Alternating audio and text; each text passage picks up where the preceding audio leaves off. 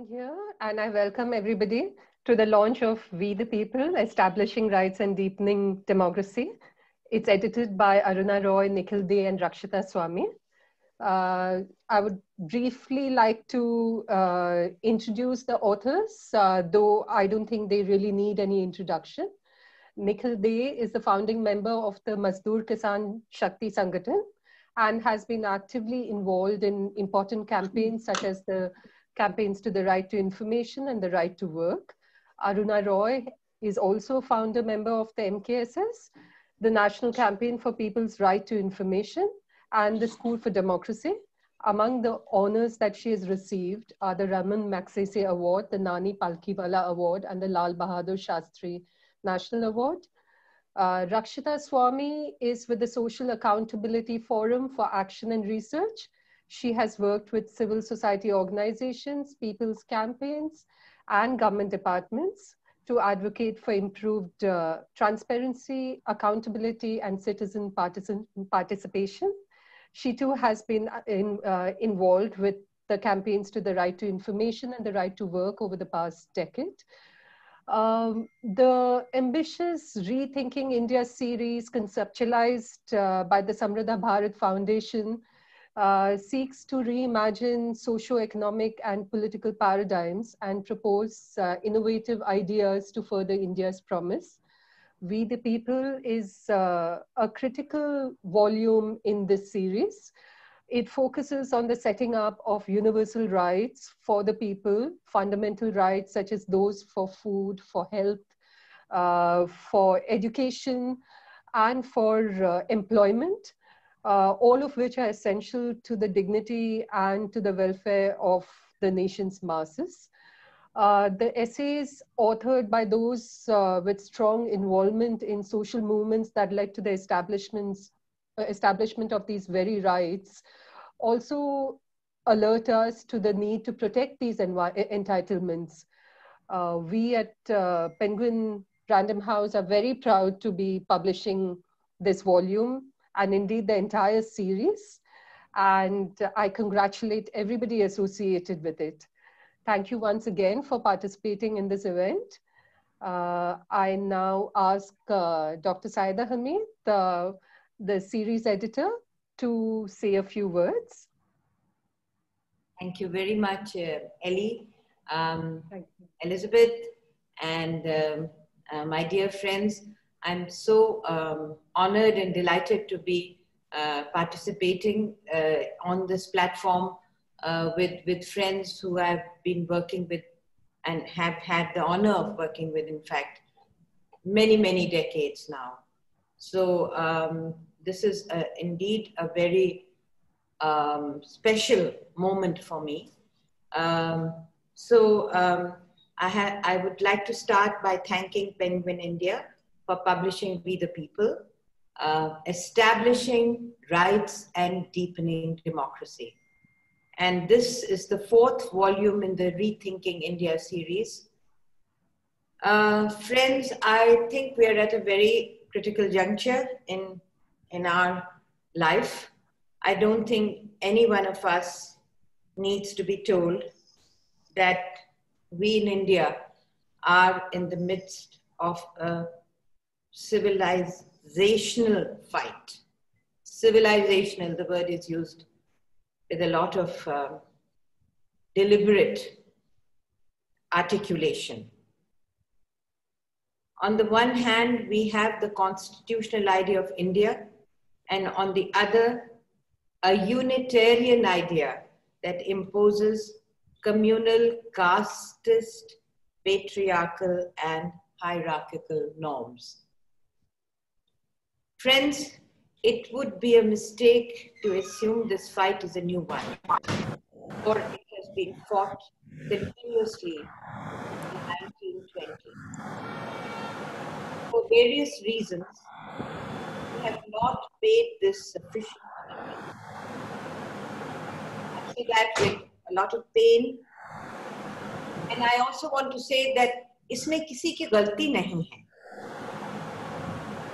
हम सब मिलजुल कर एक साथ काम कर रहे थे एंड उसमें कुछ assumptions भी थे we assumed that all of us were united in furthering the constitutional idea of India. ये गलती थी. We were wrong. Whether we like it or not, all those old jealousies, insecurities, fears are irrelevant today. Every institution, from the media we see that every day unfolding before our eyes. The judiciary, the political parties, the business class, every institution has been compromised.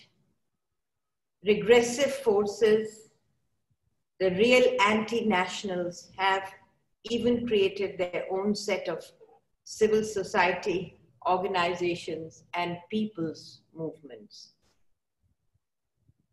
Friends, if this continues, everything that we stand for and everything we believe in before our very eyes. This is the time to urgently recreate new alliances, burying the old differences, to reiterate our fundamental values and to reinvent our strategies. And this is what we, in our modest and humble way at Samrudh Bharat Foundation, have been doing, and not just through its Rethinking India series, through many other ways as well. It is the testament to the sincerity and dynamism of the young people in our team that almost every single political party committed to secular values also works with us. This normative project that they have undertaken has brought together some of India's foremost activists, academic, thinkers, policy maker, policy makers, all of whom have united towards a common goal. मगर ये तो एक शुरुआत है we need to do much more. Rethinking India provides a framework from where we can rebuild and hopefully recreate. On behalf of my other series editors, Professor Mridula Mukherjee, Professor Akash Singh Rathore, and Pushparaj Deshpande, let me congratulate each one of the authors who have written with such care and with such sincerity in this excellent book. And I also want to add my Mubarakbad plus my personal admiration for the work that has been put in by my good friends Aruna Roy, Nikhil Dey, and Rakshita Swamy for bringing out this volume in very in these very difficult circumstances where we are grappling with an unusual kind of a contact and yet in a timely manner. This book is an important charter, a blueprint for taking stock of our rights, and we believe our duties to this nation. Faiz Ahmad Faiz's Hum Dekhenge has become an anthem of the people. I only quote two lines, which are, to my mind, the rallying cry, cry of we the people. हम महकूमों के पाँव तले जब धरती धड़ धड़ धड़केगी और अहले हकम के सर ऊपर जब बिजली कड़कर कड़केगी हम देखेंगे। And Elizabeth and the team at Penguin for making this effort possible rethinking India has been a challenge but it's an ongoing process and I think we should never stop rethinking actually even to good times and bad times to keep rethinking And I think it's a timely reminder that these are very bad times. But I always see hope, and I have to see hope because I'm an activist And If I don't see hope, I can't function. So in the publication of this volume by Penguin, I see great hope that in the worst of times, we're yet able to bring together a series of excellent articles asserting the basic fundamental principles, not only of the Constitution, but of humanity. I have great pleasure in welcoming T.M. Krishna, who is, as you all know, a wonderful human being. Very often we say we don't need to introduce anybody, but I think everybody needs a specific introduction.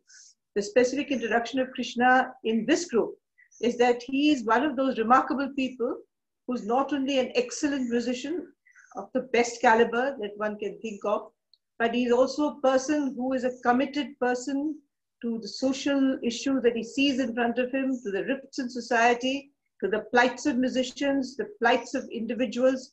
He has been striving very hard and most fundamental of everything, his voice, which sings the most beautiful melodies, also speaks out against oppression, speaks out against any kind of inequality and injustice.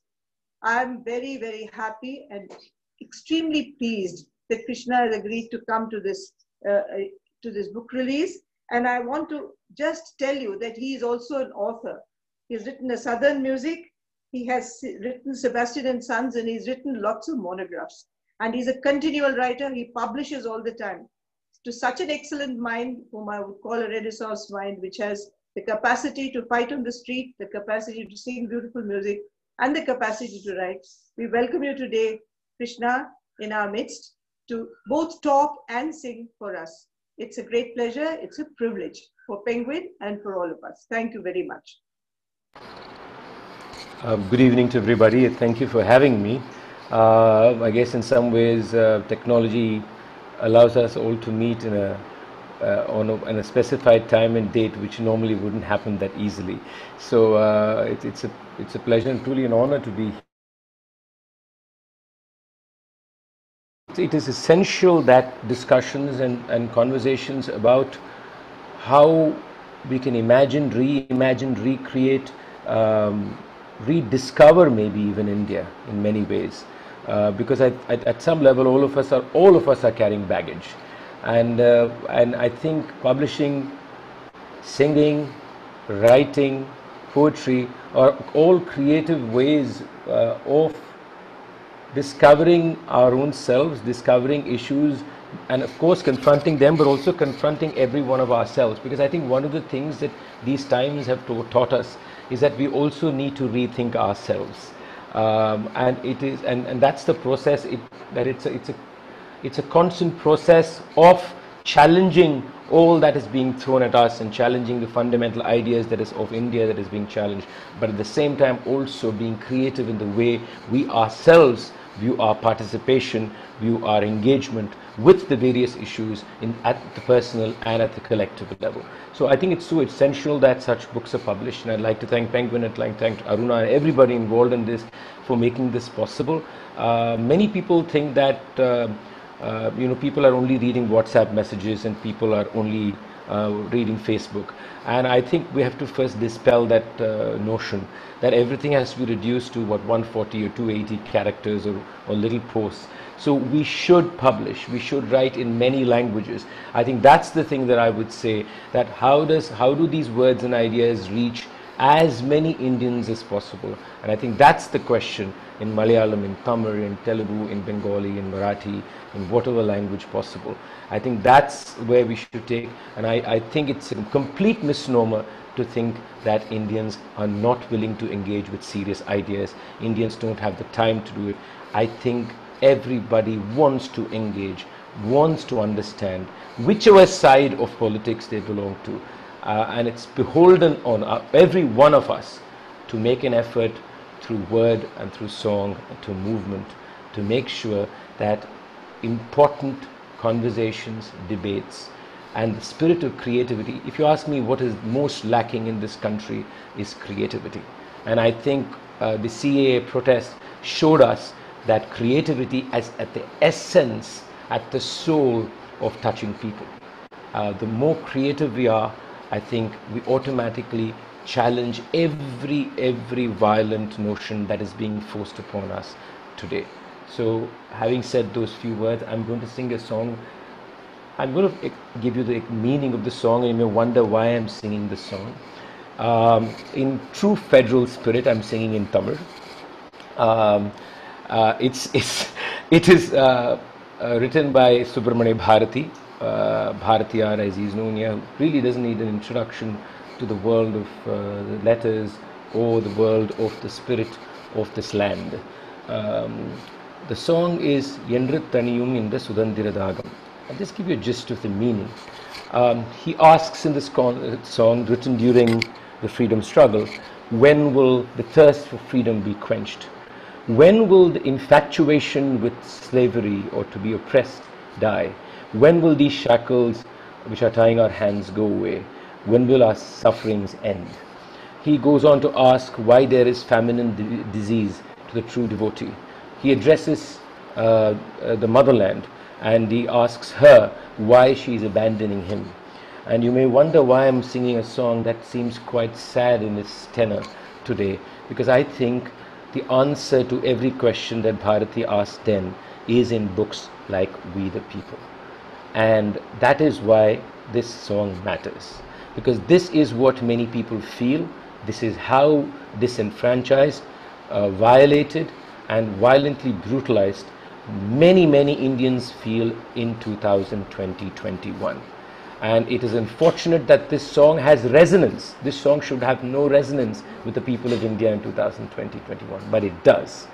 And therefore, I'm singing this song, and I do hope that we, the people, uh, doesn't provide answers, but gives every one of us the confidence to say that at some point of time in the future, at least relatively, many of these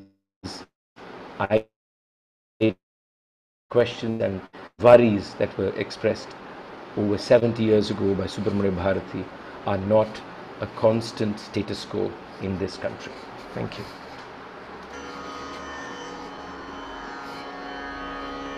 Mm.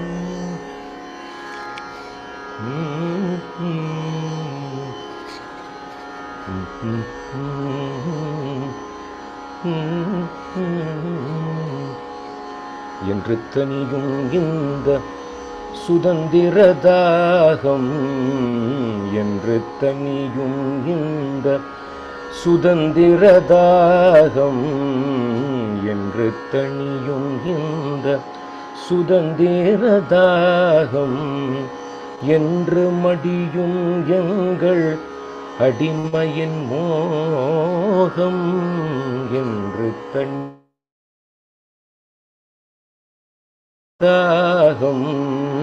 என்று மடியும் எங்கள் அடிமையின் மோகம் என்று தனியும் இந்த சுதந்திரதாகம் என்ற மதன்னை கை விலங்குகள் போகும் என்ற மதன்னை கை விலங்குகள் போகும் என்ற மதன்னை கை விலங்குகள் போகும் என்ற மதின்னல்கள் தீர்ந்து பொய்யாகும் என்று தனியும் இந்த சுதந்திரதாகம் என்ற மதன்னை கை விலங்குகள் போகும். என்ற மதன்னை கை விலங்குகள் போகும். என்ற மதின்னல்கள் தீர்ப்பு பொய்யாகும் என்று தனியும் இந்த சுதந்திரதாகம் என்று மடியும் எங்கள் அடிமையின் மோகம் என்று தனியும் இந்த சுதந்திரதாகம். பஞ்சமும் நோயும் நின் மெய்யடியார்கோ பாரினில் மேன்மைகள் வேறினியார்கோ பஞ்சமும் நோயும் நின் மெய்யடியார்கோ பாரினில் மேன்மைகள் வேறினியார்கோ தஞ்சமடைந்த பின் கையை விடலாமோ தஞ்சம் அடைந்த பின் கையே விடலாமோ? தாயும் தன் குழந்தையை தள்ளிட போமோ? தாயும் தன் குழந்தையை தள்ளிட போமோ? என்று தனியும் இந்த சுதந்திரதாகம் என்று மடியும் எங்கள் அடிமையின் மோகம் என்று மடியும் எங்கள் அடிமையின் மோகம் என்று தனியும் இந்த என்று தனியும் இந்த என்று தனியும் இந்த சுதந்திரதாகம்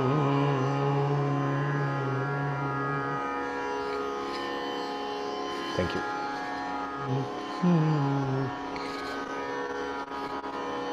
हम देखेंगे। हम देखेंगे। लाजिम है कि हम भी देखेंगे। हम देखेंगे। लाजिम है कि हम भी देखेंगे। हम देखेंगे। वो दिन के जिसका वादा है, वो दिन के जिसका वादा है, हम देखेंगे। जो लोहे अजल में लिखा है, हम देखेंगे। लाजिम है कि हम भी देखेंगे, हम देखेंगे। நீதிகள் நெடுமலப்பண்ணி போல தூலாமழையேற்றவ வீழும் போலும் நீதிகள் நெடுமல பഞ്ഞി போல தூலாமழையேற்றவ வீழும் போலும் அதிகாரம் என்னும் அலங்காரம் அல்ல. ஜனங்கள் என்னும் எஜமானன்மார் അധികാരം എന്നും അലങ്കാരം അല്ല ജനങ്ങൾ എന്നും യജമാനന്മാർ ഉറപ്പല്ലേ നമ്മൾ കാണണ്ടേ हम देखेंगे लाजिम है कि हम भी देखेंगे लाजिम है कि हम भी देखेंगे हम देखेंगे ಕರುಣೆಯ ದೇವರು ಆದಾಗ ಆ ದೇವರು ಗುಡಿಯಚೆ ನಡೆದಾಗ ಕರುಣೆಯ ದೇವರು ಆದಾಗ ಆ ದೇವರು ಗುಡಿಯಚೆ ನಡೆದಾಗ ತಳ್ಳಿಸಿಕೊಂಡ ನಮಗೆಲ್ಲ ಆ ದೇವರ ಸನಿಹಾಸಿಕಾಗ ತಳ್ಳಿಸಿಕೊಂಡ ನಮಗೆಲ್ಲ ಆ ದೇವರ ಸನಿಹ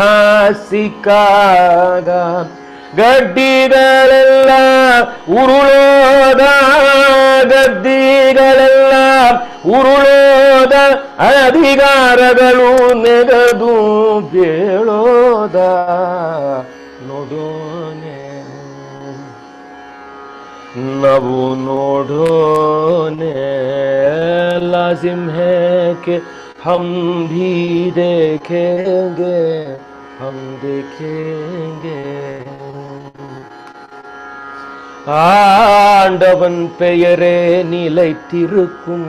அது மறைந்திருக்கும் எங்கும் நிறைந்திருக்கும். ஆண்டவன் பெயரே நிலைத்திருக்கும். அது மறைந்திருக்கும் எங்கும் நிறைந்திருக்கும். காட்சியும் மதுவே காண்பதுவும். உள்ளொளியின் உண்மை முழக்கமாகும். முழக்கமாகும் அது உன் உள்ளே என் உள்ளே படைப்புயிர் எல்லாம் எழுந்து நிற்கும் அதில் நீயும் நான் நானும் தான் பார்ப்போமே नवुनोडोने पुरपल्ले लाजिम है कि हम भी देखेंगे, हम देखेंगे। वो दिन के जिसका वादा है, वो दिन के जिसका वादा है, जो लोहे अजल में लिखा है, हम देखेंगे। लाजिम है कि हम भी देखेंगे। हम देंगे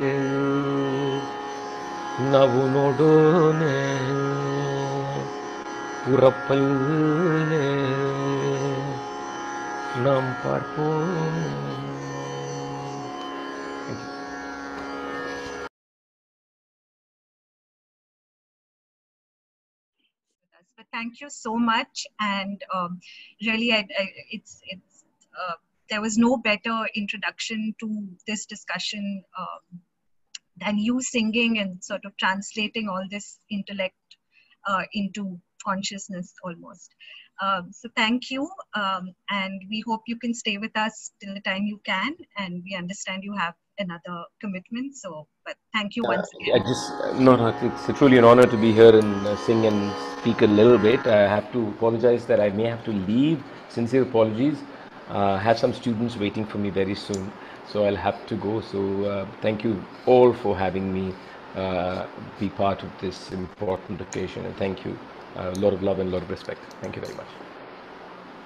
Now, I mean, in true um, collective fashion, uh, we you you will realize that our book has uh, more than 20 contributors uh, because it's talking about an era it's talking about a time when so many people's campaigns social movements citizens collectives all came together and uh, manifested what we call the era of the rights-based legislation. So we thought that the book launch should be no different. Uh, we should hear from um, each of the contributors uh, a little bit about what, why they decided to write and what they did for the book and where they see their contribution resonating with our contemporary uh, political reality, uh, contemporary economic reality. Uh, so I will request uh, friends from Samruddh Bharat Foundation, I think Adrita is there or uh, anyone else. We have contributors over the past few days had sent in um, their contributions through videos, which are short videos which have been stitched together so that we can now hear them um, at one stretch. So I'll request friends from SBF to please. Most discussions about economic rights often argue that these are not actually human rights that must be insisted upon because it is felt that human rights, after all, are things that citizens should be able to demand of their governments and their states.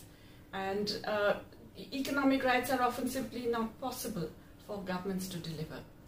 In this chapter, Prabhat Patnaik and I have tried to argue that it is in fact the case that economic rights should be made one of the essential demands because not doing so is tantamount to saying that, well, the economic system we have doesn't allow us to meet people's human rights, including their economic rights, and therefore we will privilege the economic system over the human rights. We don't think that's acceptable. We have argued that there is a set of fundamental rights that every state must ensure that its citizens actually are able to attain. It's usually argued that this is unaffordable, especially for developing countries like India, where we are barely able to meet many of the minimum things that people will require. We have done a quick estimation of the kinds of costs involved in delivering five of the most important universal human rights in economic terms the right to food, the right to work, the right to universal health care, the right to education, and the right to pensions. Now, we have made quick estimates assuming that 80% of the population will require something like the Manrega type of employment guarantee in both rural and urban areas, that at least 80% of the population will have access to universal free food uh, at the lowest possible ration rates, that around uh, that everybody will have access to universal education up to secondary level, that there will be good quality universal health care provided, which we now know is an absolute essential, and that there will be pensions provided to those above 60 and all of those with disabilities who are unable to work. Now, this may seem exorbitant, but our calculations suggest that it would cost around 10% of GDP. And when we recognize that spending this will also generate more income through the multiplier and thereby generate more tax revenues, the net cost to the government will be much lower, more like 6.5% of GDP. We also estimate that a significant amount of this can be met by taxing the extremely wealthy, the super rich, both through wealth taxes and inheritance taxes, and by taxing multinationals. Of course, other creative ways of raising state incomes can also be thought of. But it means that economic rights can indeed be met. Our chapter focuses on the growing inequality in India. Inequality in India has reached absolutely obscene proportions. Just imagine, in 2018, only nine people, literally nine people, had more wealth than 50% of the Indian population. And as we know, Indian population is around, say, 130 crores. So nine people more wealth than, say, 65 crore people. This is morally outrageous, unacceptable. This is also economically, socially, politically not viable. We'll see a complete breakdown of the society and the polity. And, and the sad part is that post-independence, we were able to move towards a more equal society. But post-90s, we've again seen a reversal of this trend and what we now see is an absolute obscene level of inequality. In India, unfortunately, but not surprisingly, this inequality gets further accentuated on the basis of gender, on the basis of religion, on the basis of caste, region. So there is an intersectionality. On the one hand, you look at economic inequality, which gets further highlighted, becomes more acute with uh, deprivation of, of gender, caste, uh, and, and uh, regional positions. This is, it's, it's very clear that this is because of the economic system that we have created, which is rigged in favor of the billionaires.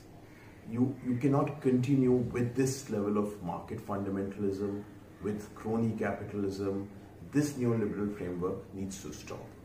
Probably and hopefully COVID gives us that opportunity that we can reboot our economy and create a more humane economic system. But what is also important is, and, and that's what the global trend tells us, that wherever we have invested in people's rights and entitlements, you are able to create a more equal society. So the central idea is that we need to revisit how in India our social rights protections are getting dismantled and we need to move back uh, to a, a really strengthening and making our people's rights more robust, stronger, and ensure a better quality of life uh, for all in this country. Thank you. नमस्ते सामाजिक जवाबदेही ज़िम्मेदारी और उत्तरदायित्व का एक भाव है। यदि कोई किसी के प्रति जिम्मेदार नहीं होगा, कोई किसी के प्रति उत्तरदायित्व नहीं होगा तो यह व्यवस्था और ढांचा ठीक से चल नहीं सकता। हमारी लोकतांत्रिक व्यवस्थाओं में भी देखें तो सरकार जनता के प्रति जवाबदेह है। सरकार की ज़िम्मेदारी है कि वो अपने नागरिकों के प्रति जवाबदेह हो। लेकिन वास्तविक अर्थों में हम देखें तो जो प्रशासनिक ढांचा है, सरकार है, उसमें जवाबदेही तो मौजूद है, लेकिन वो अपने से ऊपर वालों के प्रति है। अपने से नीचे वालों के प्रति कोई जवाबदेही लेने को तैयार नहीं है। और इसी से ये व्यवस्था ठीक से चलती नहीं है। ठीक इसी प्रकार हमारे समाज में भी यदि हम देखें तो गाँव में जो संपन्न है, जो अमीर है, उसके प्रति सबकी जवाबदेही है। उसके सारे काम आसानी से हो जाते हैं। लेकिन जो गाँव में रहने वाले गरीब है, वंचित है, उनकी छोटी छोटी समस्याएँ होती है। चाहे वो राशन की हो, नरेगा की हो, पेंशन की हो, उसके पानी की समस्या हो, बिजली की समस्या हो, उन छोटी छोटी समस्याओं को सुनने वाला भी कोई नहीं है, उन पर कार्रवाई करने वाला भी कोई नहीं है। तो जब पीड़ित पक्ष है, जिनको सुना नहीं जाता है, ऐसे लोगों का सरकार के प्रति एक अविश्वास का भाव होता है। उनका उससे, उन, जब उनको सुना नहीं जाता है तो उनका सत्ता से और प्रशासन से एक विश्वास टूटता है। जब ये विश्वास टूटता है तो ये हमारे लोकतंत्र के लिए बहुत घातक है, क्योंकि लोगों को लगता है कि जो शक्ति का केंद्र है, वो जनता के पास नहीं होकर कुछ ही लोगों के पास है, और इससे हमारी लोकतांत्रिक व्यवस्थाएँ भी कमज़ोर होती है। लोगों की, लोगों का विश्वास उनसे उठता है। लेकिन सामाजिक जवाबदेही एक ऐसा मौका देती है ये एक ऐसी पद्धति है जिसमें जनता की आवाज़ को सुना जाता है उनकी चीज़ों उनकी जो समस्याएँ होती है उनका समाधान करने की आ, कोशिश की जाती है। तो ये प्रक्रिया एक मौका देती है जिससे लोगों का प्रशासन और सरकार के प्रति एक विश्वास पैदा होता है। और यही विश्वास हमारे लोकतंत्र को भी मज़बूत बनाता है। सामाजिक जवाबदेही की प्रक्रियाएँ अब आगे बढ़ने लगी हैं। इसके तहत आजकल सामाजिक अंकेक्षण होने लगे हैं जन सुनवाइयाँ होने लगी हैं अलग अलग तरह के संवाद होने लगे हैं। सरकार और जनता के बीच, जैसे नरेगा संवाद है, शिक्षा संवाद है तो इन प्रक्रियाओं से सरकार भी मज़बूत होती है और जनता भी मज़बूत होती है और दोनों मिलके आपस में तालमेल से अपनी व्यवस्थाओं को अच्छे से चला सकते हैं। लेकिन मुझे लगता है कि अभी भी सामाजिक जवाबदेही की प्रक्रियाओं को और मज़बूत करना चाहिए, और आगे बढ़ाना चाहिए। एक मज़बूत कानून भी उनके लिए लाना चाहिए, क्योंकि मुझे लगता है अंततः कि सामाजिक जवाबदेही सरकार और जनता के बीच एक अनुबंध है और इसी से समाज का ताना बाना सुरक्षित रह सकता है, क्योंकि सामाजिक जवाबदेही जीवन जीने की एक पद्धति है जो हमें इंसानियत का भी बोध कराती है। शुक्रिया। Um, the book We the People is an important contribution to the difficult terrain that democracy today is navigating through. Uh, in today's times, when we see so much and hear so much that goes against our democratic and constitutional values, and spend so much time trying to understand what went wrong, um, this book reminds us of what in fact went right. Um, the book talks about how uh, struggles were led by people's campaigns, social movements, and led to the manifestation of valuable rights of citizens to education, to information, to employment, to food security, to empowerment. And it talks about an era of the rights-based legislations which placed rights uh, squarely within the framework of dignity and justice. Uh, today, when many of these rights-based legislations are being undermined, this book also reminds us about how and why it is also so difficult to undermine them and we are seeing active sites of resistance um, shown by people's groups on any attempt to attack these rights. Uh, one of the chapters that I have contributed to in this book and I've had the privilege to write about uh, along with Paras Banjara and Shankar Singh is about social accountability and the intrinsic relationship that social accountability has with democracy.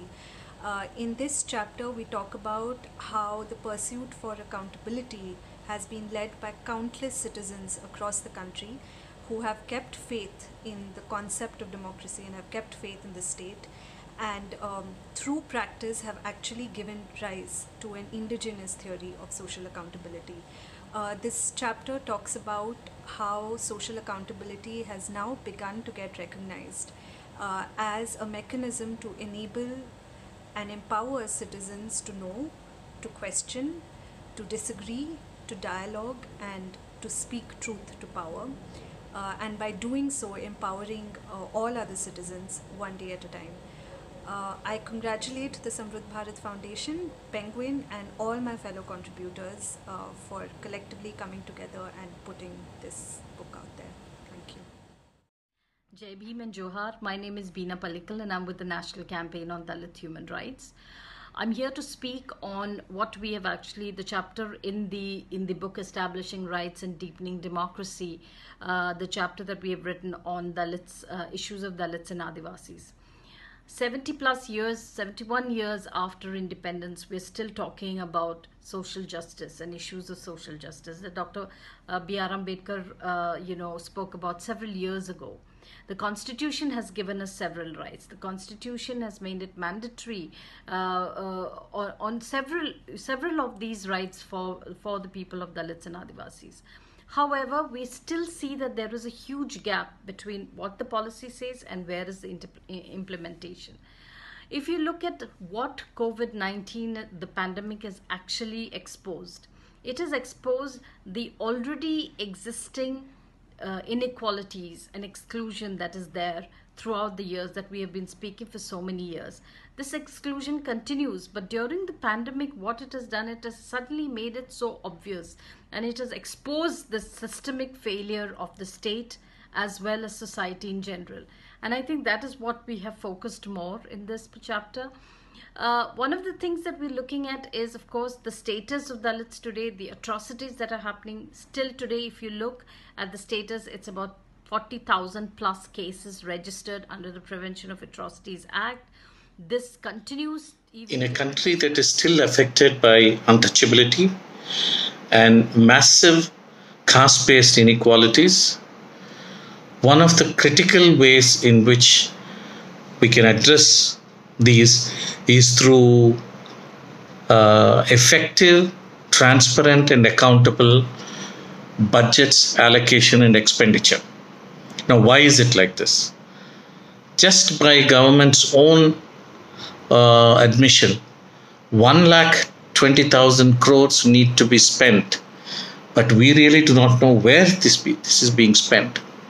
If this is being spent, let's say even in the time of COVID,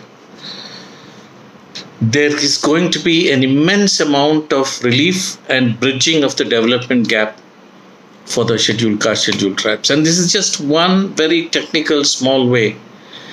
But we need many, many more attempts at democracy and transparency, especially in these areas. And that is one critical way of redefining our country's democracy.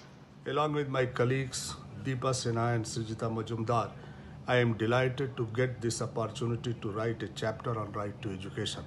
I am also thankful to the Samruddha Bharat and Penguin publication for taking this forward. In this chapter, we reiterated that universal right to education and health are important not only for the welfare of human being but also for the development of a nation. Though education has become a fundamental, route, uh, fundamental right in India, since 2001 and parliament has enacted a law to make it a reality. Universal right to health is still a distant dream for people of india. The implementation of right to education is very challenging. Only 12.7% schools in the country are compliant with the provisions of the act. According to the nsso data uh, 6 crore children are out of school even after 10 years of the enactment of the Act. 40% dropout for adolescent girls exists after class 8th. 9 lakh teachers' posts are vacant at elementary level and 8.3% schools are having single teacher. Nearly 50% schools do not have required WASH facilities. All of these show the severe apathy of government towards the implementation of its own law, which was. Everyone, through this chapter on key to reducing inequalities through accountability, transparency, and participation, we have tried to bring forth a very important discussion on the caste-based discrimination that continues to be one of the most wide-ranging human rights violations that have been prevailing for decades. Uh, now, Dalit communities are subjected to inequality and discrimination even to this days, uh, uh, this day, and this reality manifests in different forms. Uh, they still lag behind other caste groups um, um, in most of the socio-economic indicators, be it health, education, and so forth. Uh, additionally, there are, uh, there's also high incidence of uh, violence against the Dalit community. It has not shown a decline and still remains persistent uh, in different forms, be it murder, rape, physical assault, uh, hmm, abuse, and so on.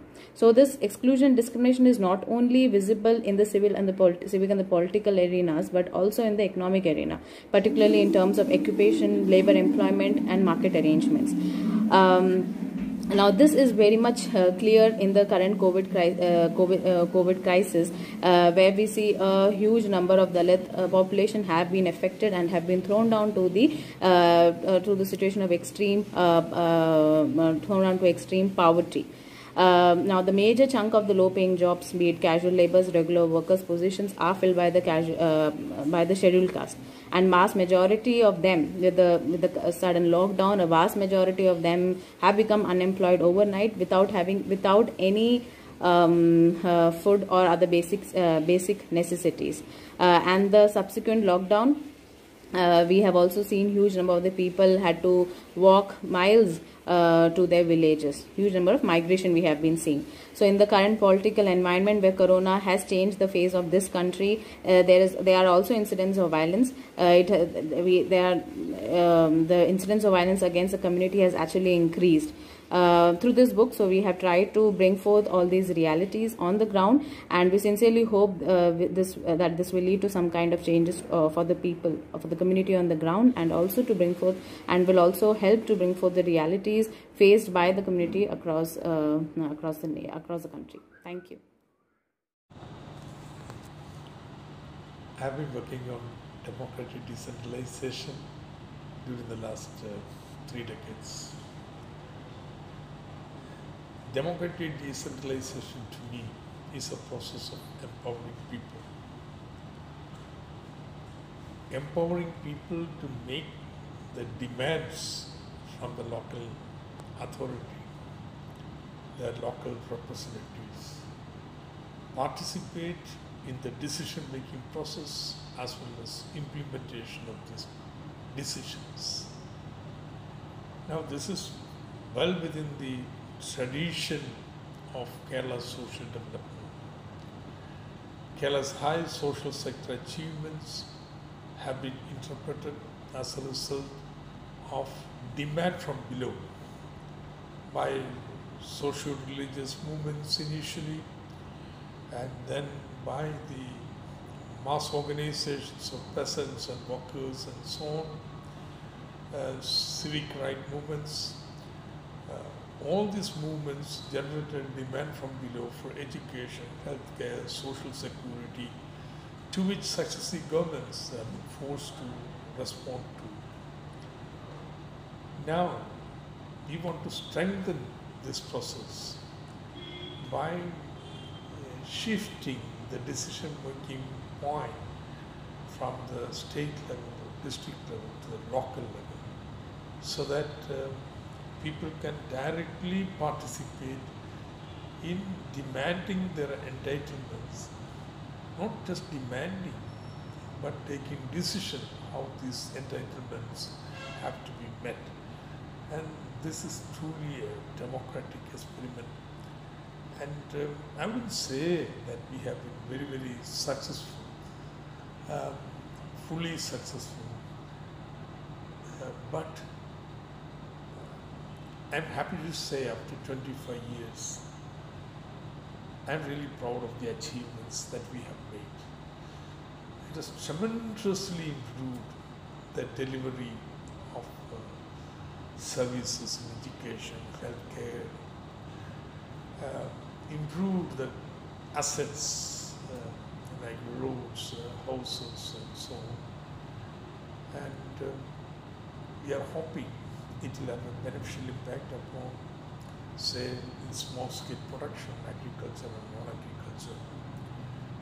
and there has been a remarkable decrease in uh, number of poor people. Uh, in fact, it has been the fastest reduction of poverty in India. Uh, therefore, Kerala, I would say, presents very interesting case of analyzing democratic decentralization from the rights perspective, and this is what we have attempted in our article. Almost a quarter of a century ago, Kerala launched its Big Bang decentralization effort through the well known People's Plan campaign. The objectives were clear and publicly stated democratization, participation, inclusion, and pro people governance and development.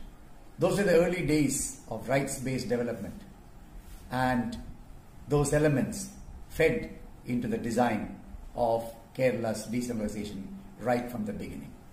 Looking back after 25 years, um, we are happy to note that pro poor rights of shelter, basic minimum needs have been met considerably. Gender rights have got a boost through Kudumbashree, which has 40 lakh women as part of it from 2 lakh self-help groups. Right to public services, so critical in the current context, have been provided with substantial efficiency by the local governments through hospitals and schools. And very significantly, the marginalized, including those needing palliative care, mentally challenged children, uh, the poorest of the poor, have been brought within the development fold through a rare program of care and compassion. And now they are moving on to the care of the elderly and uh, differently abled. So it's an eye opener that through decentralization, government can push rights development and people can access and demand those rights more easily because they are the closest to the people and there is almost face-to-face governance. In the current context of COVID in India, a local governance coalition is emerging with panchayats, civil society organizations and the SHGs, self-help groups. Now there are a lot of lessons to be learned from Kerala's 25-year experience. Today is the release of the book Establishing Rights and Deepening Democracy, in which Anjali Bhardwaj and I have uh, co-authored a chapter on protecting independent regulatory institutions which are necessary to protect democracy. As you know, when our uh, republic was set up, several independent regulatory institutions were set up to protect the republic and democracy. Among them, the most important one is an independent judiciary whose role is to protect fundamental rights, ensure that the executive and the legislature function within the bounds of their powers, and to ensure the rule of law. Uh, other institutions are the Election Commission, the Comptroller and Auditor General, uh, and there are a slew of other institutions as well. Today, unfortunately, the independence of all these institutions is under attack and under strain uh, the present government, which is a fascist government in power today. Uh, about the judiciary, even several retired judges have said that uh, they ha uh, held a press conference to say that uh, the chief justices have been misusing their powers in order to assign uh, politically sensitive cases to hand-picked benches in order to get them decided in a particular way. We have seen that they have not, uh, in the last few years, risen to the task of protecting democracy, protecting institutions, and protecting fundamental rights. Uh, the, the, same thing is true of the Election Commission also, whose job is to ensure free and fair elections. Today, elections are being decided by the, uh, the dates are being decided by the government. The model code of conduct is not being enforced against the Prime Minister Amit Shah, etc. The CAG's independence has also come under strain. For the first time, the CAG removed pricing details from a defense deal, which is the Rafale deal. For the first time, they removed the offset contract deal, which was given to Ambani in the Rafale contract, from the audit itself. Uh, some astounding things are happening. Therefore, it's essential that if we want to protect democracy, we need to protect these institutions, uh, critique them, uh, campaign about them, and ensure that they come back to their uh, de designated role of being independent watchdogs of our democracy. A network of robust and autonomous institutions are absolutely critical to ensure that the rule of law is not overwhelmed by the weight of numbers in a democracy. They can act as a very effective check on abuse of power by the state and make sure that citizens are able to access and exercise their constitutionally and statutorily guaranteed rights. Experience in India shows that creating, populating and sustaining these institutions is a huge challenge. Recent developments have exposed deep fault lines in the functioning of the judiciary. Uh, four top judges of the Supreme Court came out in an unprecedented press conference where they talked about how selectively certain sensitive cases were being sent to particular benches for particular outcomes, raising very serious questions on the independence of the judiciary the manner in which many of the politically sensitive cases have been dealt with have also raised very, very serious questions. Whether it's the Rafale deal, it's the electoral bonds case, it's the uh, challenge to the constitutionality of the Citizenship Amendment Act, the CAA, or it is the habeas corpus petitions that have been filed in Jammu and Kashmir. All of these point to a very, very serious problem in the functioning of the judiciary at the moment. And if this is looked at in conjunction with the manner in which the judiciary is dealing with cases of misconduct about itself that has shaken up the public's trust in the judiciary, whether it is the sexual harassment case, recent case in the case of the Chief Justice of India, or it is cases of corruption against Chief Justices all of them have been dealt with in a manner which show that the judiciary is not willing to be accountable to the people of the country. Unfortunately, there has been a concerted attempt to undermine statutory institutions of accountability and transparency. The information commissions, for example, which have been set up under the Right to Information Act to ensure that people's fundamental right to know is safeguarded have been undermined. The right to information law has empowered citizens across the country to question the government about the delivery of their basic rights and to hold government functionaries accountable. And what we are seeing is that governments are undermining these institutions by not making appointments to the commissions. This leads to a large number of pending cases in the commissions resulting in people having to wait for a long period of time to have their cases heard. Now this is a huge problem especially if we look at the manner in which the Central Information Commission is functioning. There are 35,000 pending cases in the commission not a single information commissioner has been appointed to the CIC since May 2014 without people having to approach the courts. Regressive amendments were brought in to the right to information law to undermine the independence of the commissions by making sure that the central government is empowered to decide the salaries and tenures of information commissioners across the country. Even if we look at the Lokpal, things have not been very different. the Lokpal law was brought in to put in place an independent and empowered institution to look into cases of corruption. It came as a result of a strong people's campaign and in fact on the back of which the current government came to power. But for five years, no Lokpal was appointed by the government and finally when the appointments were made, they were done in a manner which really left a cloud on the independence of the institution because the selection was made by a committee with the preponderance of representatives of the ruling party. Again, the Central Bureau of Investigation, the premier investigating body in the country, the political interference has been rife if we look at the manner in which the erstwhile director was removed, an interim director was put in place in contravention of all established procedures and laws, really raised questions of the, about the independence of the investigating agency.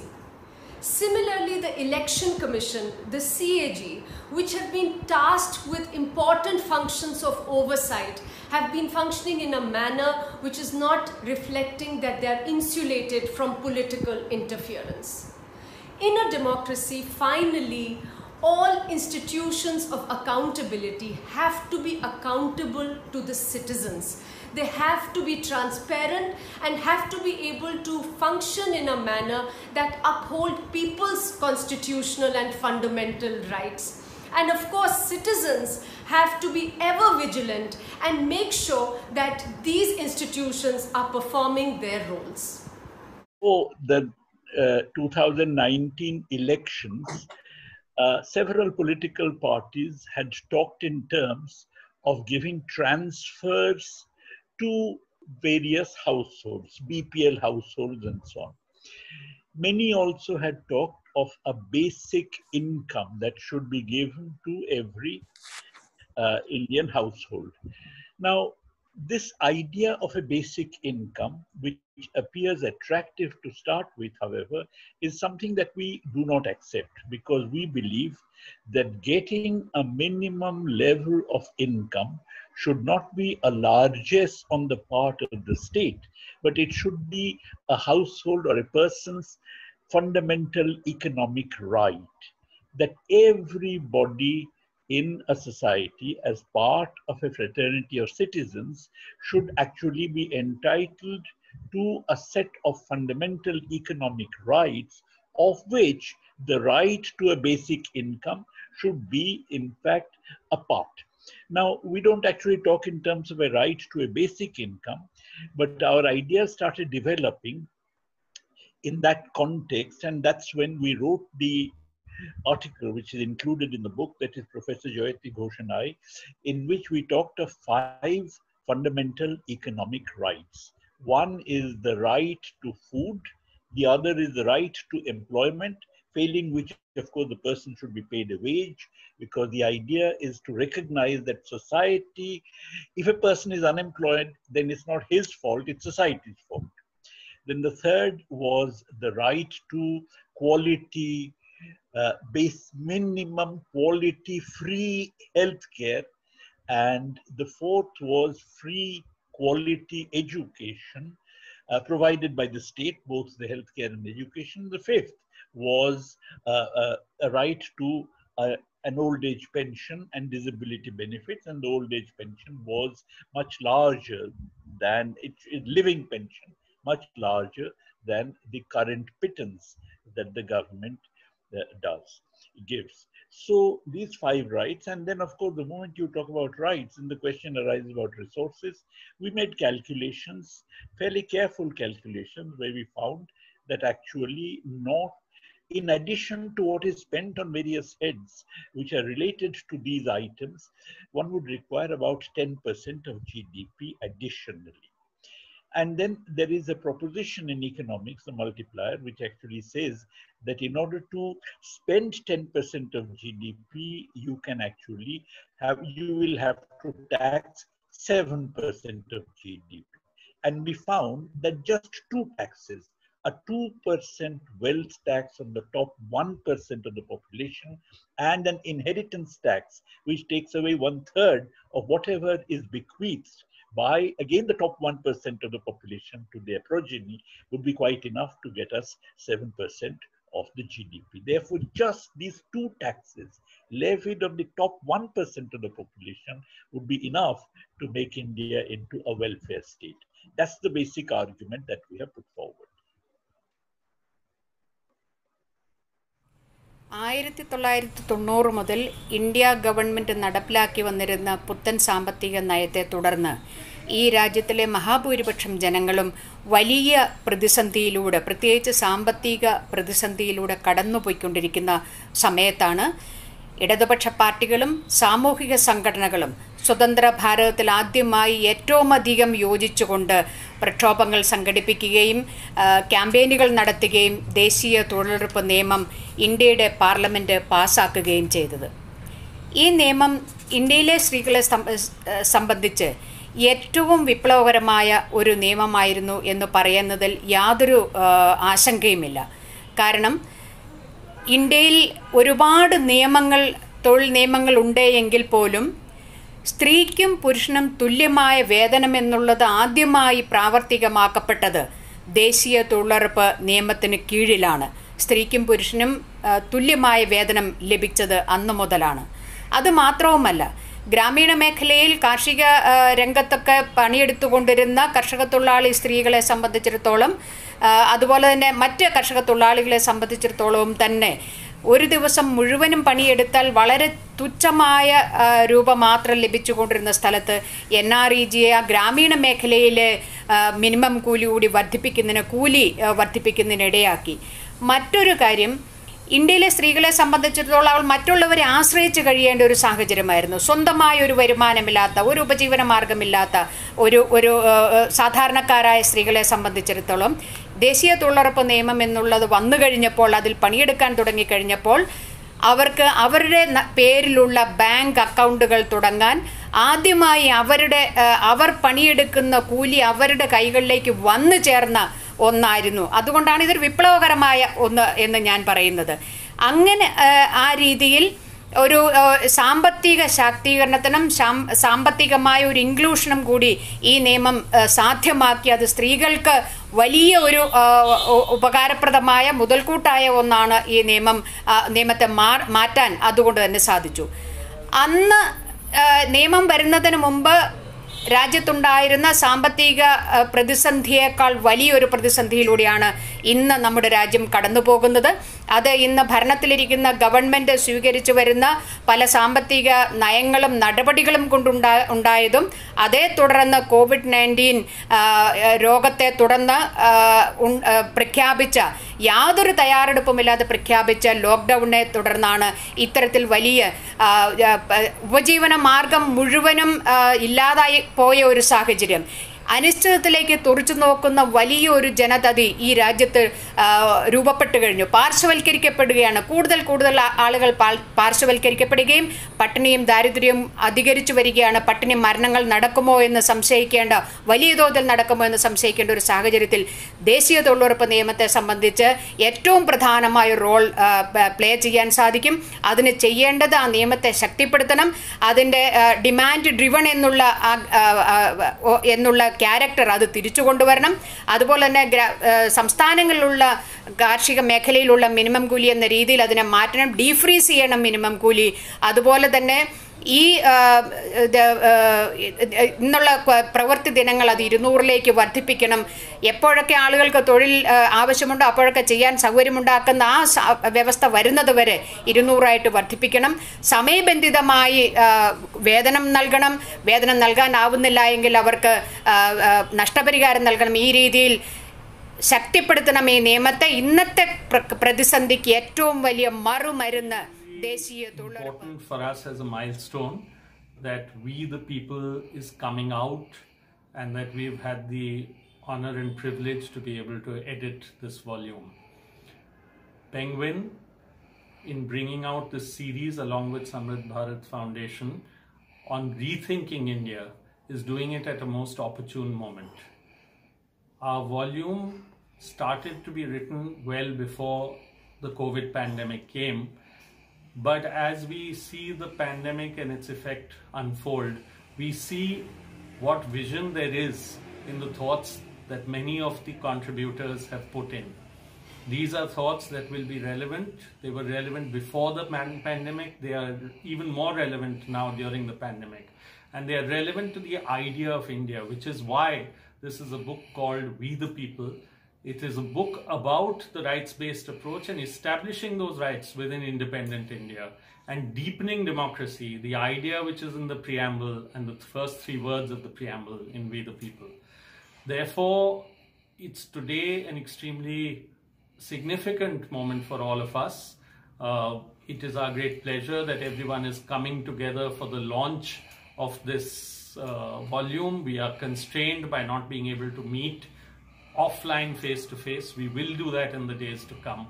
But this is actually a tribute to the people of India who have contributed so many things that are outlined in the chapters there, who continue to struggle, who actually lay a framework for the future of India based on the ideas contained in the preamble and the constitution, where people are at the center of policy and the country. Rethinking India. It's a challenging title. And We the People is a reassurance. It's a reaffirmation of the fact that we have an excellent constitution which has provided us with the framework of justice and equality. It's only a pity that in contemporary times, both justice and equality are being challenged by the most insidious of methods and also by the most overt of methods. At this juncture, it's more important than ever to see how assertions of very ordinary people have really established these values, not only in the socio-economic political field, but has made these ideas not only attractive, but possible, and currently they are the ones that keep India together. I invite you to read these chapters and to enjoy them as much as I did as an editor of this volume. And I promise you that it's going to be one of the books that will stand by you on your shelf when you want to understand the Indian condition better. The chapter that I was associated with in this book was to do with the right to health and education. Uh, the issue of universal health coverage, uh, access to healthcare has become much more relevant in the last six months in the context of the spread of the coronavirus across the country. And also, it has brought about all kinds of violations of the right to healthcare of people, not just those who are COVID positive, but also in the context of COVID with the closing down of a large number of health centers, uh, particularly in the private sector. Uh, we have also seen denials of uh, health care for people who are suffering from other kinds of ailments. Uh, many times life threatening ailments, pregnant women have not been able to reach hospitals uh, and so on. So the two issues that this chapter raises as the problems, main problems with the health sector and which has become increasingly more so in the last five or six years is uh, to do with the low investments on health by the governments and the secondly the trend towards increasing privatization. We see that India, in India, the public spending on healthcare is only around 1% of the GDP, whereas the WHO recommends around 3%, and that is what the goal of the national health policy is as well. But we have, even after the pandemic, we are not seeing those kind of investments coming in the health sector. On the other hand, we see a trend where the shift of attention is away from programs such as the National Health Mission, which aim to strengthen the public sector, towards the Ayushman Bharat, which is an insurance-based scheme, which includes the private sector. So in a context of unregulated private sector in our country, such insurance schemes, it is feared, would only uh, would only contribute to increasing the profit uh, motives and commercialization in health sector while not ensuring equity in access to health. Uh, the Ayushman Bharat is also limited in its coverage because it includes only inpatient care and does not even address entirely the issue of out-of-pocket expenditure. Our society is rife with inequalities that breed discrimination.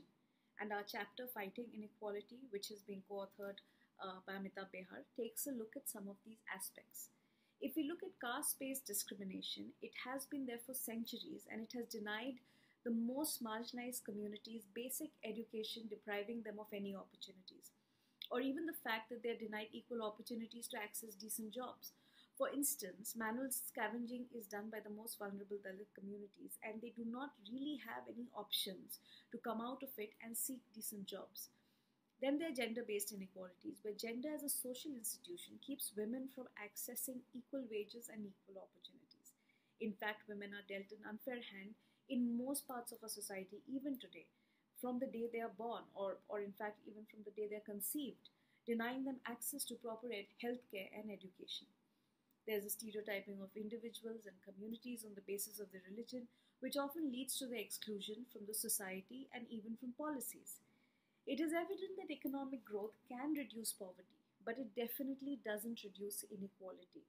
It cannot, because the very path of growth we have charted is iniquitous by its very design. In order to bridge these inequalities, there is a need for direct intervention by the government. This book, We the People, examines these universal rights like right to education, healthcare, food, information, employment guarantee, and the continuing challenges of realizing and protecting these rights. The phase of democracy we are in today, there is clearly an urgent need for legislations to be properly implemented for a more equal and a discrimination free society. And this book, in that sense, is very, very well timed. Thank you.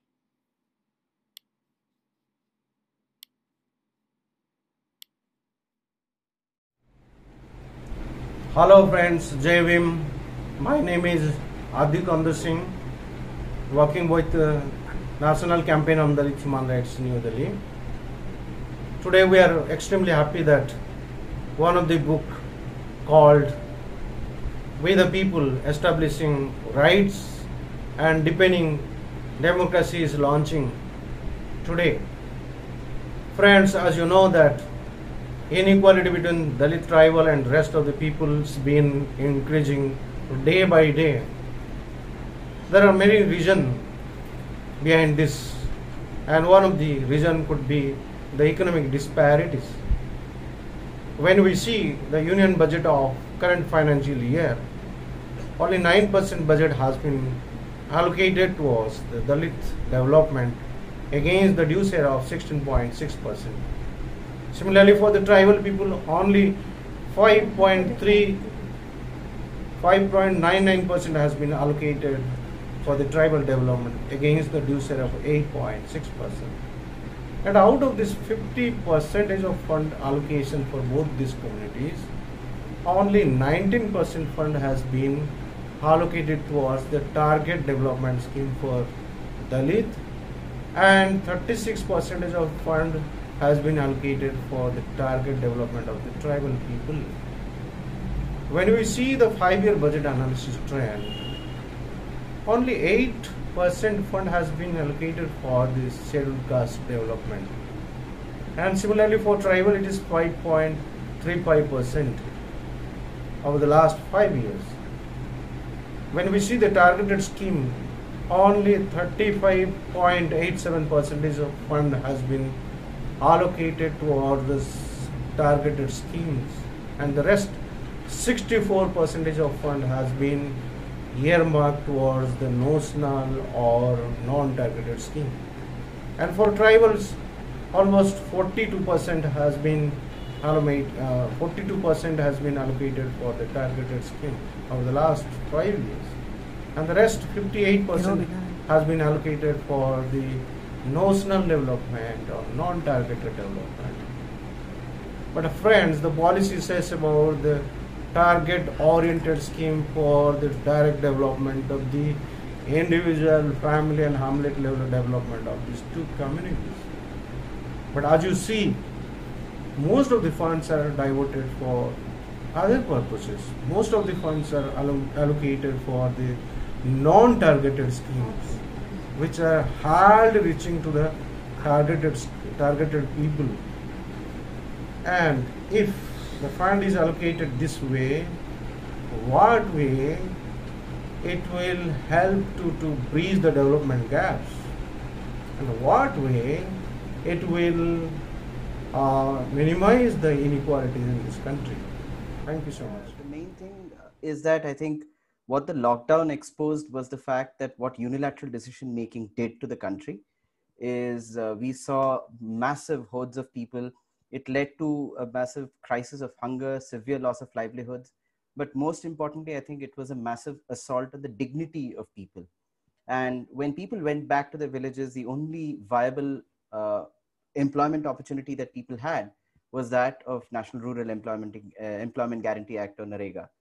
So I think the what we try to focus, uh, I've written a, a co-written this essay with Annie Raja of National Federation of Indian Women, and uh, we what we try to highlight is the fact that narega needs to be seen as uh, as an important way to uh, ensure right to work, which is a corollary of right to life, Article 21 of the Constitution.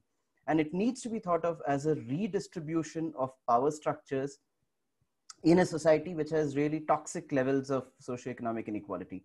And I think from that perspective, uh, NREGA is a landmark legislation. And I think as Annie also mentioned, it's, uh, it's the first legislation where women and men get the same wages. Uh, it's, uh, in fact, more than 50% of the workers are women. And what we also try to argue in the essay is the positive impacts of NREGA that's happened over the years, which is contrary to what uh, many people would have us believe. In fact, there is a there's a massive uh, positive impact on agriculture, on increase in rural incomes, on environment, and on ecology at large. So I think those are tremendous positive impacts. And also, one of the fallouts that we saw recently was that of distress migration, which has uh, led to the catastrophic crisis that we saw. And Narega can be a huge way to prevent that kind of distress migration from rural areas to urban areas uh, children's education often get disrupted because of such distress migration. So I think that NREGA can prevent that. And also it has a great positive effect in terms of uh, improving nutritional outcome of women in rural areas uh, because NREGA can offer supplementary income to women uh, during this time of crisis. But what we've seen over the years, over the last five, six years, especially is a steady mutilation of this act in letter and spirit uh, in, in multiple ways. And one of the ways is uh, underfunding it because it's a demand driven act.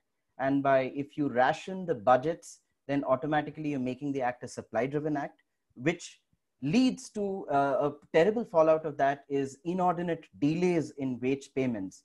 Uh, now just think about it. If a daily wage laborer who's earning, let's say 170 rupees a day, if their wages are delayed by three months, it's not just unethical and immoral, but it's it's illegal. It's it's unethical and immoral as well. Uh, then the other thing is, of course, that Narega wages in many states are lower than the minimum agricultural wages in those states, and that again is a violation uh, at multiple levels.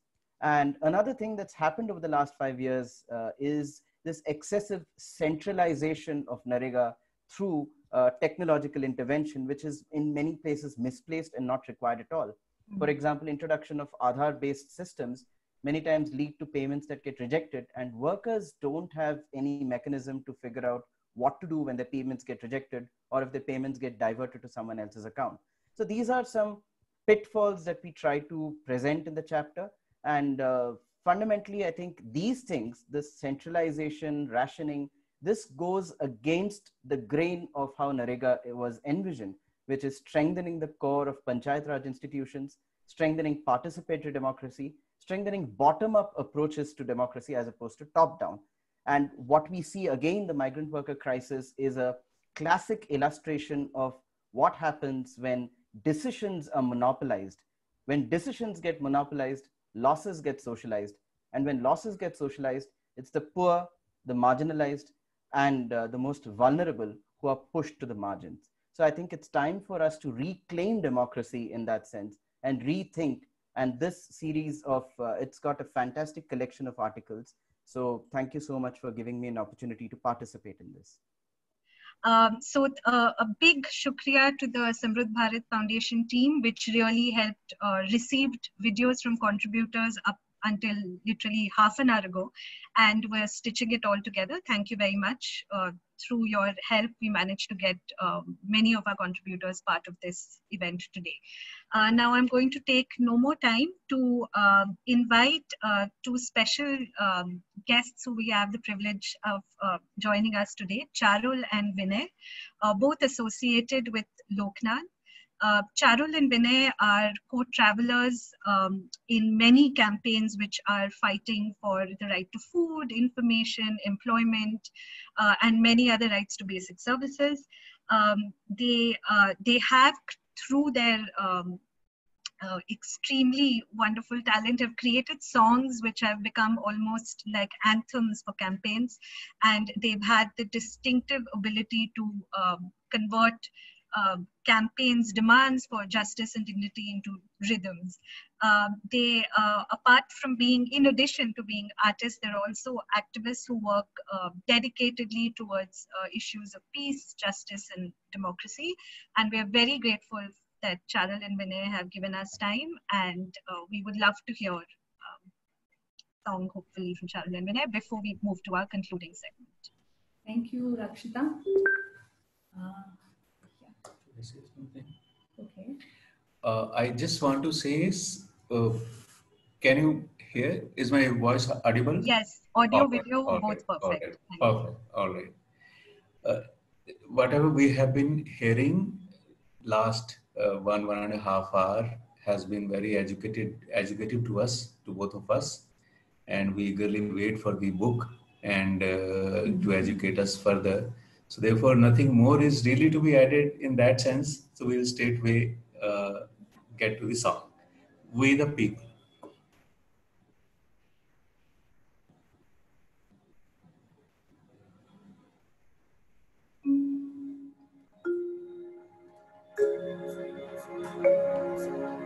हमने कहा आजाद हैं अब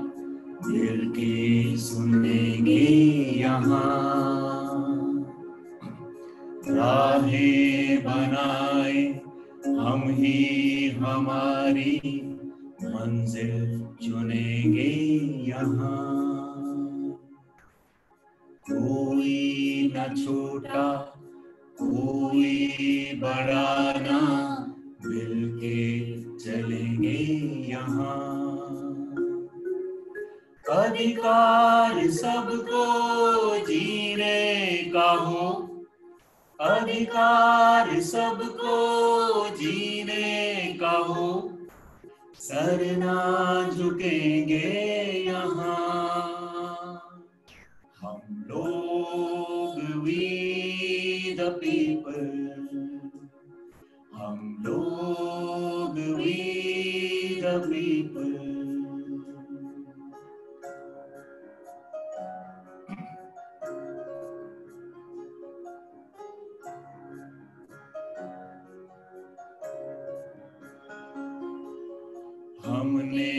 कहा चूल्हे सभी के जलते रहेंगे यहाँ।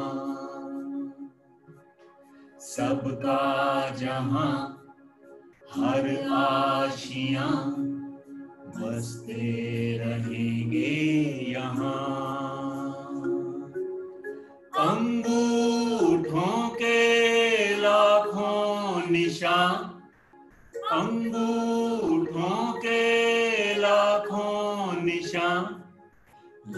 Yeah.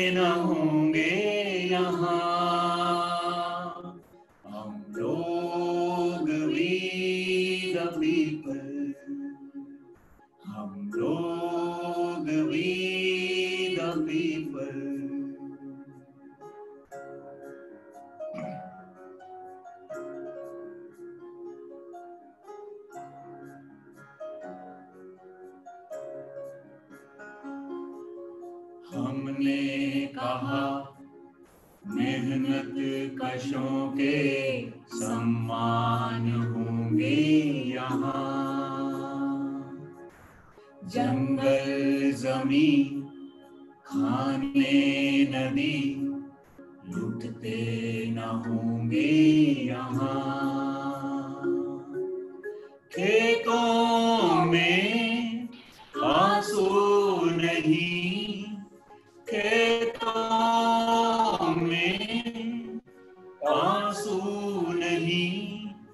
Sele.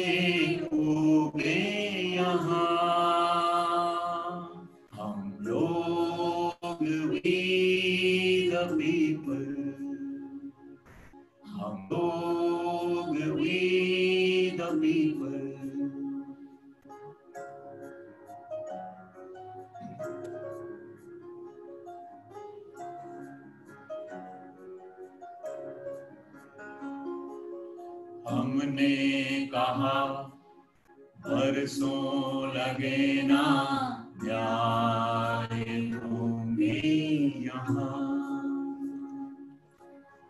कानून से फौजों से हम डरते न होंगे यहाँ।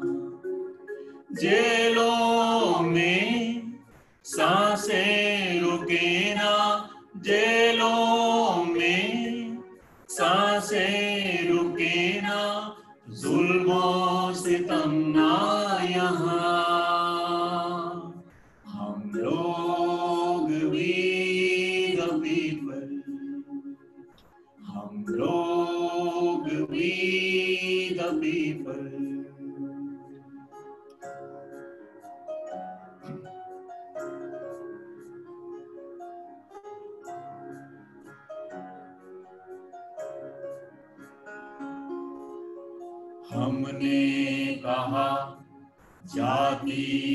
धर्म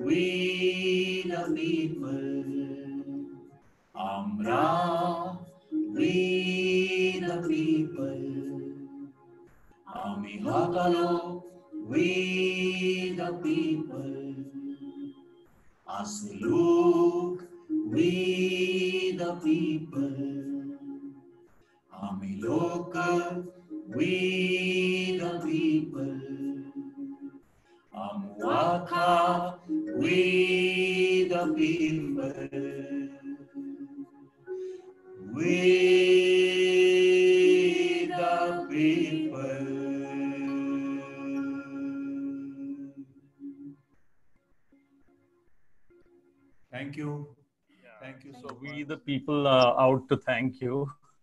Uh, it really is actually, in a sense, the book um, and the song and everything that's happened so far was uh, a tribute to the fact that there is something that is all collective and drawn from people and to take it back to them. And that's why this last segment of this program is that it's not just a book.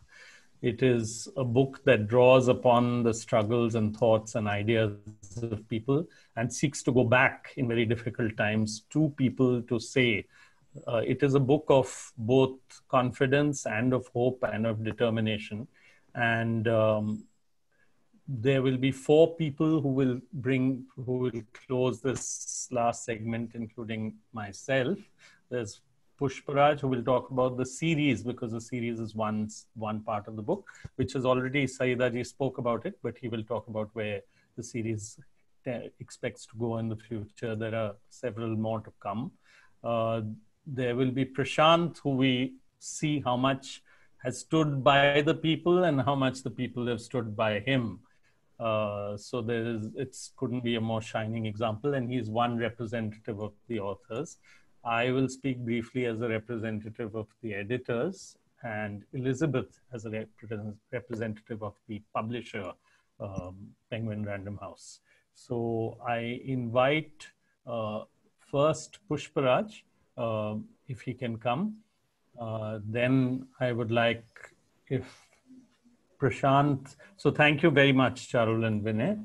And uh, then I will invite Prashant to speak, um, and then Elizabeth, and I will conclude. So yeah, thanks, Nikhil ji. I am I audible? Yeah. Yes. Yes. Hi. Okay. Okay. Thanks. Well, uh, well, firstly, on behalf of Samruddha Bharat and the other series editors in Penguin, I wanted to convey a heartfelt gratitude to Arunaji, Nikhilji, and Rakshita, the three editors of We the People, for bringing out this volume in record time. And they've updated it even though uh, just after the COVID hit. So, congratulations and thank you for that. And secondly, of course, to all the contributors for uh, penning such excellent pieces that objective, objectively outline the status of the rights-based paradigms are, that this is especially timely today. Uh, I want to go back briefly to what Syeda ji said at the beginning. We are undoubtedly in the midst of uh, what I was saying is that uh, on one hand, our constitutional and institutional values are being subverted in this service of clearly one ideology and one leader. On the other hand, majoritarian tendencies have run amok. Centrifugal tendencies over the past six years have continuously threatened the sovereignty of the nation state. And the worst thing is that the state is either outsourcing its welfare functions or just undermining, undermining them not to mention that it's continuously running roughshod on the rights of the states or we the people. And while all of all of this is happening, what's especially sad is that the traditional custodians of these norms have just vanished. It's almost surreal, but they don't seem to be seized of the unprecedented times that we are all finding ourselves in. And despite all of this, new sites of contestations have clearly emerged. Contrary to yeah. what the and their experts for hire have uh, experts and journalists for hire have continuously tried to portray, millions of Indians are coming out and striving to reinstate the letter and spirit of our constitution, not just normatively, but also practically. Every day we are seeing in every city, in every village, that faced with injustice, they're creatively reimagining their uh, the, uh, old ideas and old strategies of civil disobedience they're braving the cold, water cannons, lathis, even bullets in times, and even very recently, the injustice in the system. I mean, what can be more Gandhian than displaying one's moral courage in the face of such terrible injustice? So, frankly, I believe that all of us who have gathered here believe that the shared dream of India will endure as long as there are dreamers and as long as these dreamers work hard to give shape to them. I mean, this is ultimately what this Rethinking India series and this volume, We the People, strive to do. They don't just try to highlight what has been, but also what should be.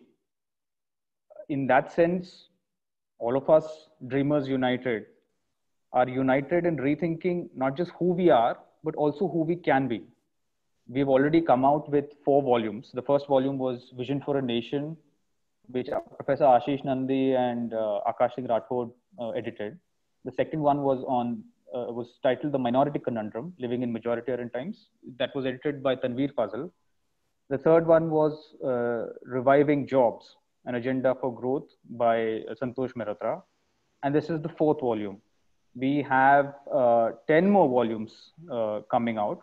One on Dalit rights, on on uh, on uh, Adivasi rights, on OBC rights, on uh, on the institutional architecture of India, and uh, uh, on the educational architecture framework of India.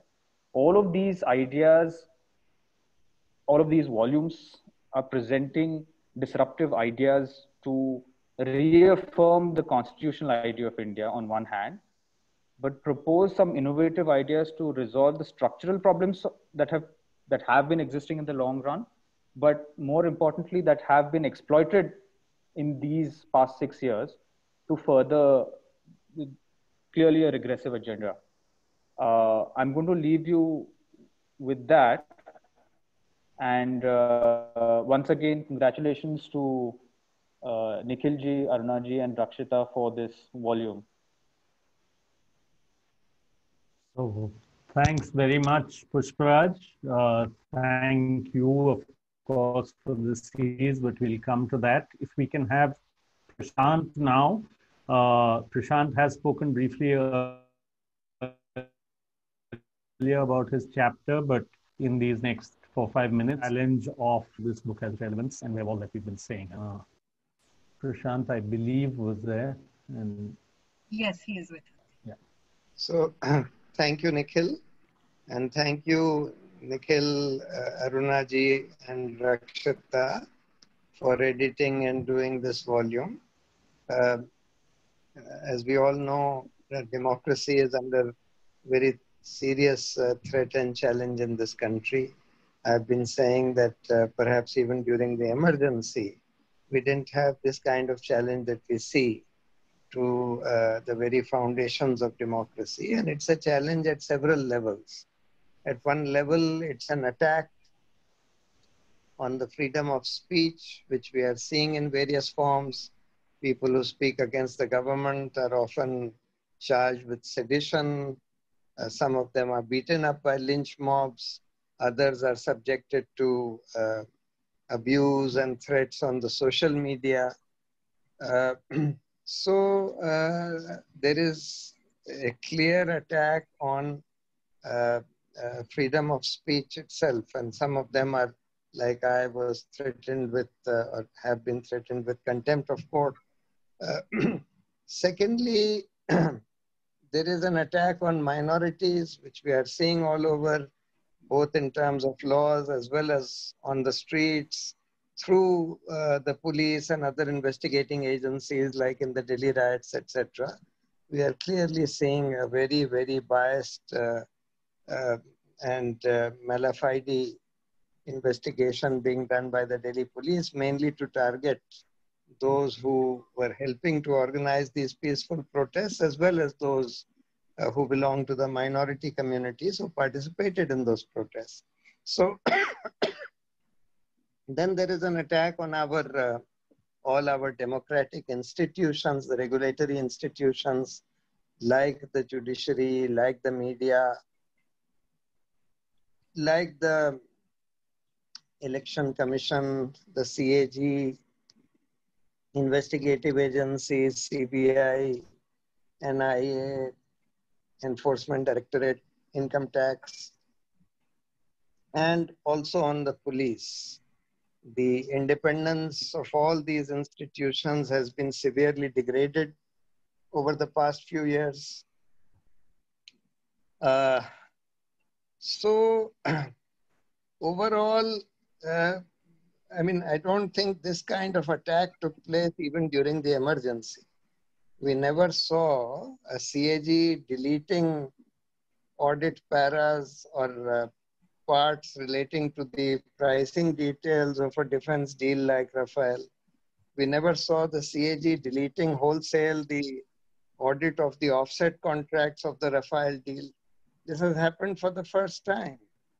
We never saw the election commission deciding dates for holding elections in various states or even Lok Sabha elections at the behest of and at the instance of the government. We never saw um, election commission behaving in such a partisan way while enforcing the model code of conduct, while they just turn a blind eye to what uh, the prime minister does or what Mr. Amit Shah does. They check other people we never saw this kind of use of money power in elections, which we are seeing today. Uh, when this uh, note ban was done, we were told by the prime minister that this is being done in order to make a cashless economy.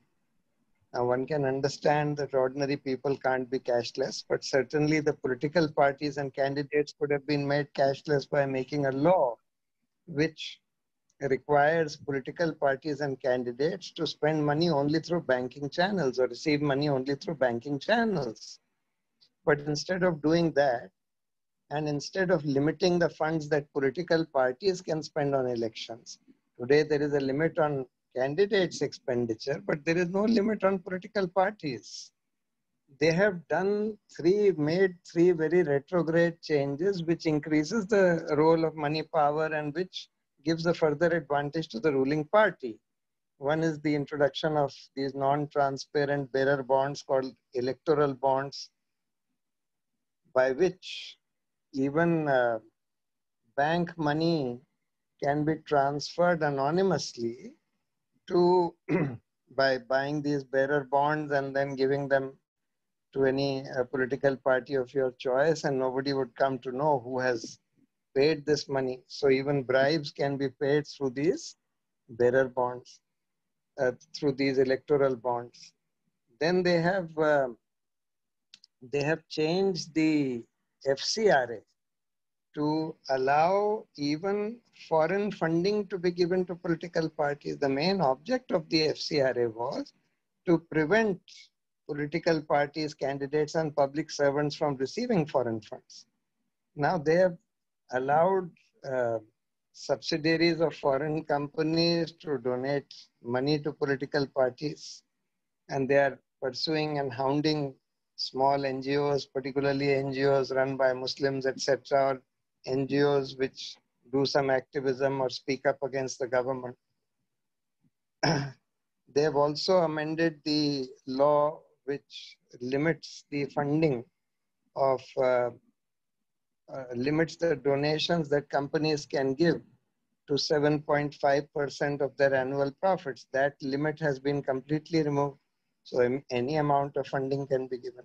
So therefore, with this, the role of money power has increased the media has been completely captured by the uh, government or almost completely, barring these portals and the social media, which are, all, which are also under threat and strain, etc. But the mainstream media is totally captured by the government, which just spews uh, and plays into the government's hands by spewing communal hatred, by uh, raising diversionary issues like the death of this Sushant Singh Rajput for months on ends, um, months on end, etc. So, as I said, the republic is under strain as never before, and we have to fight back to reclaim the republic. The COVID has been used by the government to prevent any kind of political activity. So they have uh, prohibited all political activity and they are going to use this in the foreseeable future to continue to prevent that. I think the time has come for people to break this fear, the fear of speaking up, speaking out, and the fear of going out of their homes and organizing some political gatherings. I think the time has come for us to break out of that fear. And one of the programs, perhaps, which people can initiate जैसे इन लोगों ने थाली बजाओ वगैरह किया था उस तरह का सम सच programme by us to to celebrate and to encourage people to at least speak up and speak out against the kind of devastation of the economy that is taking place and the kind of uh, damage that has been done or is being done to uh, democratic institutions in this country. So I'm very happy that uh, uh, uh, the publishers and the editors have uh, put together this book. And I'm also happy to learn that many other books on the same theme are in the offing. And I congratulate everybody. And I hope that this will spark off Uh, a new interest in the revival of democracy in this country. Thank you. Thanks so much, Prashant. This is not only a call to action, it also is an opportunity and a platform for many more debates that, that need to take place. And debates themselves and deliberations themselves are being cut off. And yes, you're right, the fear needs to be broken and we need to speak out. And what better example than you? So we also take the opportunity to thank you for what you've been doing in the last many years and particularly in the last few days as a symbol.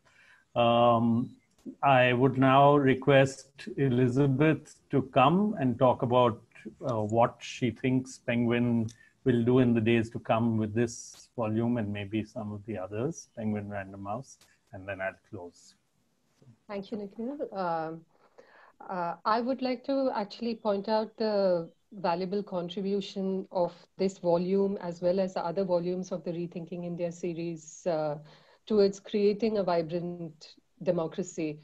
Uh, I think the phrase vibrant democracy, democracy has uh, been so often used that uh, it almost seems like a cliche, but uh, it, it is really quite intrinsic to, uh, to the idea of India. And, um, and what can help achieve it is uh, the strength in people's voices and uh, uh, in the participation of people in creating a just and equitable society. And for that to happen, uh, there has to be an active exchange of ideas. Um, uh, a volume such as We the People, as well as the uh, three volumes of the Rethinking India series that appeared before uh, Vision for a Nation, edited by uh, Ashish Nandy and Akash Singh Rathore, uh, Reviving Job by Santosh Mehrotra, and uh, Minority Conundrum, edited by Tanveer Fazal. All of these uh, allow for, uh, for these exchange of ideas to happen, for create spaces for dialogues and conversations around what our idea of uh, India really is, where we have come so far, where we need to go now, and how we can achieve that. Uh, I thank all three of you for putting together this absolutely valuable uh, uh volume. Every time I read it, uh, uh, I, you know, I'm, yeah, I, I think it's, it's, it's really quite a magnificent book. And uh, thank you very much for it. Thanks so much, Elizabeth. And thank you, Penguin and Random House and the publishers for bringing it out and providing this kind of platform. And as you say, the platform for these kinds of debates. Uh, thanks to the conception of the series, because as Prashant pointed out, it's not just the set of essays in this book, but actually it's the entire idea of India or the Republic itself which is under deep discussion. And the advantage is that people are really out there uh, providing responses and dis- discussing it. And if there's anything in this volume that's important, is that it's not written by experts, it's the expertise of people that has been drawn upon and brought uh, to the table and into the book. Uh, I just want to quickly thank all the people, uh, each of the authors who delivered in just such a fantastic manner uh, in the midst of being activists and academics and public figures and intellectuals and campaigners and ordinary people. They pulled it out and pulled it together and put it out in such a beautiful fashion. And I think as an editor, Elizabeth, you will have known that they, they, responded also to whatever in the midst of it. And I must say, you were fantastic because there were many days in which you got no response, but uh, people pulled in and you had faith in that particular process. So now that it's reached that point where it's now going to go out amongst the people, uh, to the people who sang today, T.M. Krishna and Charul and Vinay, I mean, it reminds us of how powerful singing is in this whole process of song and is it also sometimes makes us feel what's the need of a book. We can just sort of uh, sing our way through because there's so much power in that in that whole medium. And we hope a little bit of that can be reflected in the idea that the, this book draws upon from campaigns and draws upon people's own communication media and culture itself, which which uh, T.M. Krishna and Charul and Vinay brought, and to those many many people struggling against great odds, who everyone today has talked about, and that's why it was so important for us to have everyone talk a little bit, because whether it was a question of Dalits and Adivasis, or whether it was a question of uh, people going on NREGA work or any anywhere else, the all the, all of the strength is drawn actually from people, just as I think we've seen Prashant draws his strength also from the many people we see standing up for him across the country. So that's that's eventually the idea of We the People. And thank you all. This what has been done today was uh, was a launch, but it's also a deferred launch in the sense some of the glitches in between will be edited out and it will be made a little more uh, sharp. But we are just two minutes over our time that we had allocated. But we will we will make this uh, a sharper thing and we will pass it around to all of you so that you can also uh, publicize it. And on a particular date and time, this will be in its deferred launch formally launched. Uh, to the authors. You will also get books, and we're going to try and see if there's a way in which we can all get a book with everyone's signature, even in COVID times, for us to be able to have. So, thank you to everyone